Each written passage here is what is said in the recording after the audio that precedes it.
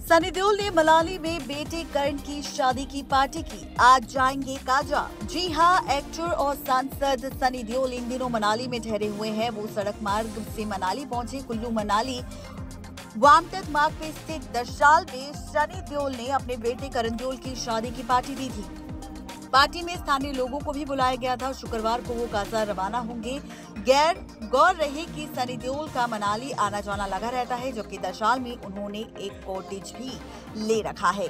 जी हाँ आप सबको बताते चले कि ऐसा है खास रिश्ता यहाँ पर सनी का, जहाँ पर वो हिमाचली टोपी पहने नज़र आ रहे हैं। उनका बेटा करण देओल उनके साथ है, जिसने हिमाचली टोपी पहनी है। और यहाँ पर उन्होंने लोगों के साथ खूब जमकर डांस भी किया, जिसकी वीडियो सोशल मीडिया पर काफ़ी तेज़ी से वायरल हो रही है। नेक्स्ट नाइन लाइफ की रिपोर्ट